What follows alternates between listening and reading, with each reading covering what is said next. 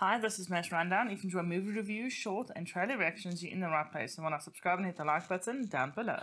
Today we're checking out the trailer for number 75, Annie Hall from 1977.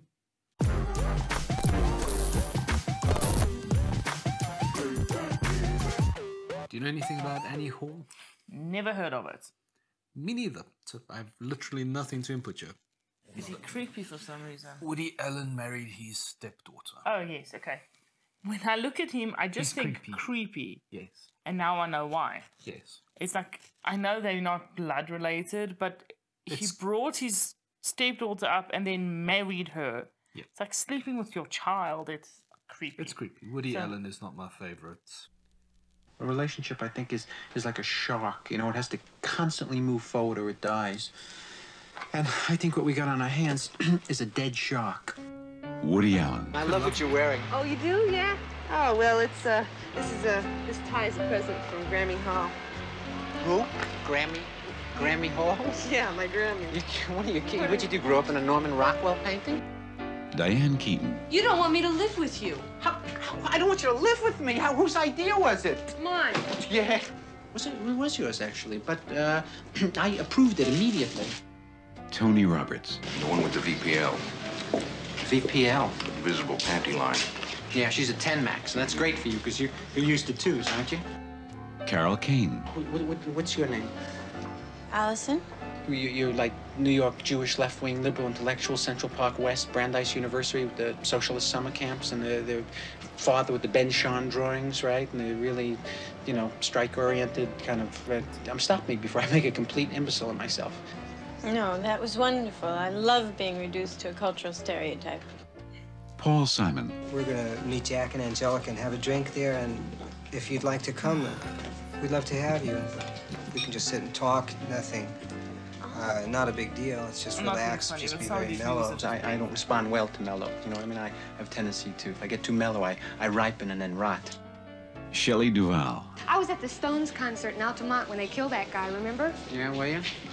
I was I was at an Alice Cooper thing where six people were rushed to the hospital with bad vibes. Janet Margolin. Colleen Dewhurst. Christopher Walken in the new Woody Allen film. Were you always funny? Hey, what is this? An interview? We're supposed to be making love. Annie Hall.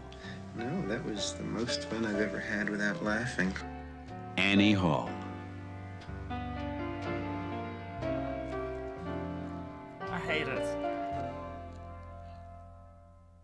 Trying to figure out what the significance of it is.